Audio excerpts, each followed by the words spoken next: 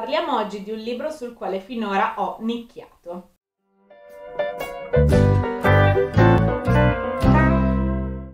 Appunto parliamo di questo libro che ho ignorato fino a questo momento, ma che in realtà al momento in cui l'ho letto avevo ottenuto ben 5 stelline su Goodreads. Se non mi seguite su Goodreads, qua sotto trovate come sempre i link eh, per poterci arrivare al mio profilo e per chiedermi l'amicizia. Sto parlando di Nodi al pettine di Mary Aude Morel, edito Giunti e uscito nel 2004 un libro che avevo messo in lista già nel momento in cui lessi un altro libro di questa autrice di cui ho fatto la recensione che vi lascio qua sopra, ovvero Mio fratello Simple. Già all'epoca mi sono accorta che questa autrice comunque ha questa particolarità di rendere fruibili ai giovani, ai preadolescenti, perché la fascia d'età a cui è indirizzato anche questo romanzo è sempre quella, delle tematiche molto difficili e infatti anche in questo andiamo ad affrontare delle tematiche molto attuali e eh, di difficile comprensione per qualcuno che non è stato, tra virgolette, educato ad accettare determinati argomenti della vita. Ecco. Ma parliamo della trama, perché Nodi al pettine? Perché in realtà la location, l'ambientazione di questo romanzo è un salone da parrucchiere. C'è Luis, che è il nostro protagonista, che è in terza media e eh, è nel passaggio tra la seconda e la terza media e gli viene suggerito dalla scuola o imposto dalla scuola di dover fare uno stage lavorativo da qualche parte. Mentre il padre già sta pensando di mandarlo in qualche ufficio, cose del genere, perché aspira per lui a una carriera super fantastica e super ricca come lui, eh, in realtà eh, Luis si fa convincere dalla nonna a fare questo stage in un salone di parrucchiere. Perché? Perché passando davanti alla vetrina di tale salone rimane affascinato da questo lavoro. Inizialmente Luis fa molta fatica ad ammettere il suo interesse per una tale professione che viene considerata non solo dal padre ma da tutto il contesto sociale una professione di serie B. Di conseguenza quando inizia a fare questo stage lui la prende veramente sotto gamba ma nel momento in cui entra poi nel salone e conosce tutti i suoi colleghi, tutti coloro che lavorano in questo salone, si fa davvero affascinare e conquistare da questa professione, sorprendentemente in quanto lui non si sarebbe mai aspettato da maschio appunto di eh, rimanere colpito appunto da una professione prettamente femminile. Inizialmente il primo giorno diciamo che prende questo stage sotto gamba, mano a mano che va avanti nel tempo non solo deve tenere nascosto il fatto che sta frequentando lo stage in questo salone di parrucchiere, ma deve tenere nascosto il fatto anche che lui vuole mollare la scuola per poter praticare questa professione. Da qui eh, si susseguiranno un sacco di problematiche che non sono legate principalmente a Luis, ma anche a personaggi minori e ai suoi colleghi del salone di parrucchiere, per il quale poi alla fine comunque Luis, grazie alla sua determinazione, grazie alla sua grandissima passione per le acconciature, per le tinte e via dicendo, riuscirà nel suo intento di diventare un grandissimo professionista nel settore da lui desiderato. Quindi questa è un po' la trama a grandi linee, ovviamente non posso spoilerarvi come vanno le cose, ma eh, è un romanzetto che secondo me grandi e piccoli dovrebbero leggere. E perché? Perché in realtà, come dicevo all'inizio, affronta delle tematiche davvero attuali importanti e molto spesso anche queste prese sotto gamba. La prima cosa che spicca fin da, dai primi capitoli è la psicologia del lavoro. Di questo tema ho parlato anche quando ho fatto la recensione della trilogia di Una notte al museo, che se non avete visto vi lascio qua sopra. Perché eh, parla di psicologia del lavoro? Perché come ho detto anche all'inizio del riassunto della nostra trama, il padre di Luis fa una distinzione nettissima tra determinati tipi di lavoro, quindi i tipi di lavoro che ti portano grande ricchezza economica ma poca ricchezza tra virgolette a livello umano e altri tipi di lavoro che vengono considerati da femmine, appunto anche qua c'è un po' di sessismo diciamo inside, oppure semplicemente di serie B in quanto non sono dei veri e propri lavori, non serve un percorso universitario chissà quanto difficile per poterli fare via dicendo, almeno questo è quello che crede il padre di Luis perché noi ignoranti del settore scopriremo che in realtà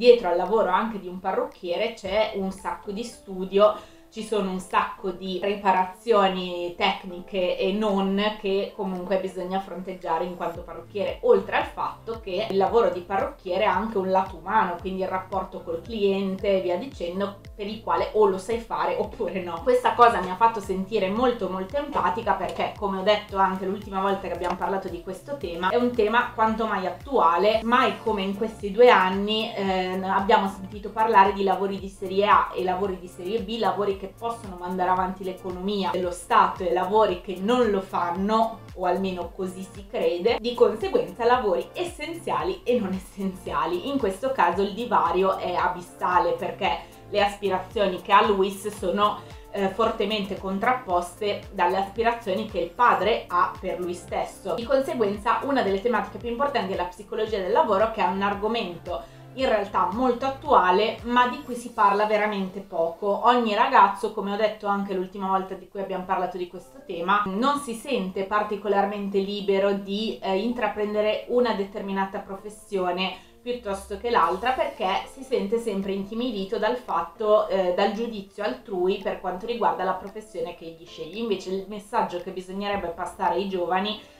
tu hai un sogno, vuoi fare quello, impegnati per fare quello il meglio possibile e sarai felice. Non, non fare quel lavoro perché tanto non ti porterà a niente, vai a fare piuttosto quell'altro che a livello di carriera ti eh, soddisferà molto di più. In realtà non è così. In realtà ognuno dovrebbe veramente essere libero di seguire i propri sogni indipendentemente dal reddito, ecco. Detto ciò, poi se volete approfondire questo discorso magari creerò un video apposito per questa cosa. Un altro tema gigantesco ma proprio gigantesco che viene fuori in questo libro, anche se in realtà non è specificato se c'è un, un personaggio che rappresenta veramente questo tema, è tutto molto fumoso, insomma, tu ti immagini delle cose che in realtà poi nell'effettivo non si realizzano, ma uno dei temi più grandi di questo libro è l'omofobia. Perché l'omofobia? Perché il personaggio di Luis, come vi ho detto, non si sa di preciso se sia omosessuale, eterosessuale, non si sa quale sia il suo orientamento sessuale. In realtà quello che ho percepito io è che viene considerato omosessuale in quanto sceglie la carriera di parrucchiere del quale abbiamo lo stereotipo, tra virgolette, del parrucchiere maschio che o è omosessuale oppure niente e mi sono sentita molto empatica perché con la danza è la stessa cosa, ma in realtà eh, Luis è eterosessuale, ce lo dimostra perché comunque durante questa storia intraprende una sorta di relazione con una donna. Di conseguenza l'omofobia passa solamente per quello che è, ovvero una costruzione sociale per il quale alcuni lavori, alcune pratiche vengono associate alle femmine e altre ai maschi e non c'è possibilità di, tra virgolette, mischiare i due mondi senza compromettere la propria posizione sessuale. L'omofobia è rappresentata principalmente dal padre di Luis che così come per il lavoro gli impone anche determinate cose in quanto maschio, non in quanto figlio suo o in quanto padre premuroso che vuole una carriera eh, altisonante per il figlio, ma proprio per questo motivo. Quindi l'omofobia viene vista a 360 gradi, in più abbiamo, se non mi ricordo male, perché oramai sono passati due mesi da che l'ho letto, però mi sembra di sì, un collega di eh, Luis che invece è dichiaratamente omosessuale, quindi comunque vediamo anche questa dinamica. Prima Luis che si interfaccia con questo collega giustamente reduce dall'educazione datagli dal padre, e poi il padre stesso che si interfaccia sia con questo collega di Luis sia con Luis stesso, immaginandosi chissà che cosa solo per partito preso, per stereotipo, per pregiudizio. E questa è una tematica affrontata secondo me molto molto bene, soprattutto indirettamente ti spiega anche le motivazioni da cui nasce poi l'omofobia. Altro argomento forse un po' marginale ma del quale si parla molto apertamente e in maniera dettagliata è ehm, la violenza sulle donne. Ovviamente è un argomento che non rientra nel personaggio di Luis né in nessun personaggio maschile principale di questo libro, ma c'è una collega di Luis che è vittima di violenza domestica, appunto costretta non solo a lavorare di più per evitare il eh, fidanzato, ecco che ovviamente fa su di lei sia violenza fisica che psicologica, ma soprattutto la cosa interessantissima è prima di tutto fino a che punto può arrivare una violenza e in secondo punto si fa una netta distinzione tra una violenza psicologica e una violenza fisica. La violenza fisica è molto più di facile comprensione, tant'è che la maggior parte delle volte a livello di cronaca comunque salgono in primo piano più che altro le violenze fisiche perché arrivano veramente al limite, ma la violenza fisica è chiaro che è una conseguenza di una violenza psicologica. Infatti in questo libro una cosa apprezzabilissima è il fatto che si dà molta importanza alla violenza psicologica e Luis, quindi noi eh, da lettori in prima persona con gli occhi di un tredicenne, affrontiamo passo passo in maniera graduale questo argomento della violenza psicologica comprendendolo sempre di più e eh, quindi di conseguenza poi riportando nella realtà questa tematica potendolo combattere e eh, la cosa mi ha affascinato e mi è piaciuta tantissimo perché come le altre tematiche io mi metto nei panni del tredicenne che prende in mano questo romanzo e capisco che è uno di quei romanzi che potrebbe veramente cambiare la società in meglio. Altro tema che viene affrontato indirettamente con il quale si interfaccia Luis è la disabilità. Questo tema viene affrontato perché la capa, tra virgolette, di Luis è disabile, sta sulla sedia a rotelle per un incidente che eh, appunto le ha paralizzato la parte inferiore del corpo. Luis, allo stesso modo degli, delle altre tematiche, si interfaccia gradualmente con questa tematica all'inizio mm, gli incute un po' di timidezza, un po' di insicurezza perché non sa bene come interfacciarsi con un capo che a tutti gli effetti è una persona normale se non per questo problema fisico perché è imbarazzato dalla condizione fisica del suo capo. Giorno dopo giorno invece lui comprende eh, come comportarsi, ovvero senza farsi il problema di comportarsi in un determinato modo in un altro con il suo capo, salvo che non abbia particolari bisogni appunto. Il suo capo allo stesso modo non è che lo tratta diversamente perché è un novellino, al contrario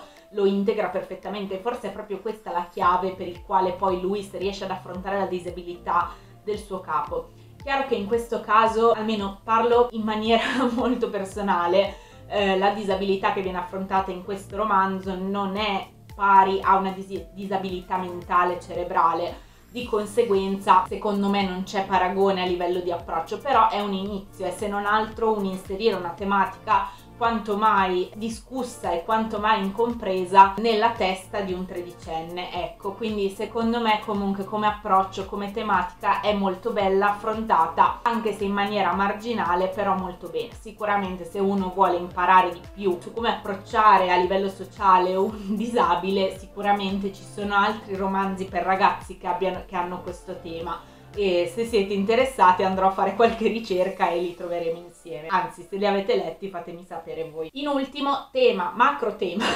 tema gigantesco che viene affrontato dall'inizio alla fine di questo libro è l'adolescenza e il passaggio alla vita adulta. La nostra storia si apre su una scelta, su una scelta che un preadolescente deve fare nei confronti del suo, della sua nuova scuola, la scuola che dovrà iniziare eh, sia a livello scolastico appunto di percorso da studente sia in quanto essere umano che si approccia comunque ad altre persone. Eh, una scelta che è fondamentale comunque nella vita di un ragazzo ma che in realtà è una di quelle scelte che eh, si può anche rimangiare un ragazzo nel momento in cui vede che ha fatto la scelta sbagliata forse per le motivazioni sbagliate. Per evitare questo bisognerebbe partire a monte e quindi ritornare alla prima tematica del lavoro e del mondo del lavoro, per il quale un ragazzo fa la scelta giusta subito perché non si sente intimorito da nessun tipo di pregiudizio. Al di là di questo comunque si apre su una scelta che un adolescente deve fare, una scelta che in realtà secondo me, soprattutto nel nostro contesto italiano, è una scelta forse un po' azzardata. Forse in Francia nel sistema scolastico si inseriscono questi stage lavorativi già alle medie, in modo che poi lo studente possa più tranquillamente scegliere la scuola più adeguata a lui. Questo è quello che succede a Luis, questo è quello che Luis non si aspetta ma che gli succede, gli capita addosso e che accoglie con gioia. Vediamo tutta questa mega tematica che ci porta poi a una conclusione nel quale appunto è giusto che ognuno scelga la carriera che vuole a seconda della sua indole, del suo talento, delle cose che piano piano va scoprendo di se stesso, ma partendo sicuramente da una fortissima passione per quello che fa. Ed è una cosa che ha tutta la mia stima perché anche il mio lavoro in questo caso è molto incompreso è molto difficile da intraprendere, in Italia non ci sono percorsi scolastici che permettono di fare questo tipo di lavoro, insomma in generale era l'ultima tematica ma comunque sono tutte tematiche davvero importantissime per i ragazzi soprattutto delle medie quindi è un libro che consiglio veramente tantissimo eh, da far leggere ai ragazzi soprattutto poi adesso che ci avviciniamo poi all'estate e sicuramente potrà essere utile questo mio consiglio. Insomma, un librettino piccolo ma intenso, molto intenso e adesso ho finito la voce quindi penso che mi fermerò qua. Spero che questa recensione vi abbia soddisfatto, che vi sia piaciuta, fatemi sapere in un commento cosa ne pensate di questo romanzo o cosa vi ha incuriosito di più delle cose che vi ho raccontato. Se vi è piaciuto questo video lasciatemi un like di supporto e se pensate che possa interessare questo libro ai vostri amici, parenti e conoscenti condividetelo su tutti i vostri social. Infine se